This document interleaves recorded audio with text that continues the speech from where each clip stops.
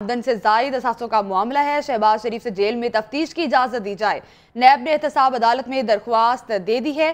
مزید تفصیلات جانیں گے سکلین جاوید سے۔ جی سکلین، بتائیے گا اس درخواست میں مزید کیا کہا گیا ہے؟ طرف سے احتساب عدالت کے روبرو ایک درخواست دی گئی ہے، جس میں کہا گیا ہے کہ شباز شریف کے آمدن سے زائد اثاثہ جاتے ہیں، جن پر تحقیقات کر رہے ہیں۔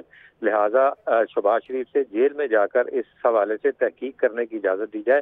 نیب کی درخواست میں کہا گیا ہے کہ نیب شباز شریف، حمزہ شباز اور سلمان کے خلاف اثاثوں سے زائد جو جائیداد بنانے کے حوالے سے تحقیقات کر رہا ہے لہذا اسی سلسلے میں شباز شریف سے بھی تحقیق کی ضرورت ہے، کیونکہ وہ اس وقت جوڈیشل ریمانڈ پر جیل میں ہے، لہذا ان سے جیل میں جا کر تحقیق کرنے کی اجازت دی جائے۔ یہاں پہ یہ بھی بتاتے چلیں کہ یہ کیس تیئیس اکتوبر دو ہزار اٹھارہ کو اس حوالے سے انکوائری کا آغاز کیا گیا تھا۔ اسی سلسلے میں نیب کی طرف سے ریکارڈ اور شواہد اکٹھے کیے جا رہے ہیں اور نیب کے ذرائع کے مطابق انہیں اب تک انیس سو ستانوے سے دو ہزار چار تک کے تمام شباب ٹھیک ہے نیب کی جانب سے ریکارڈ اور شواہد اکٹھے کیے جا رہے ہیں۔ بہت شکریہ سکلین جاوید آپ کا۔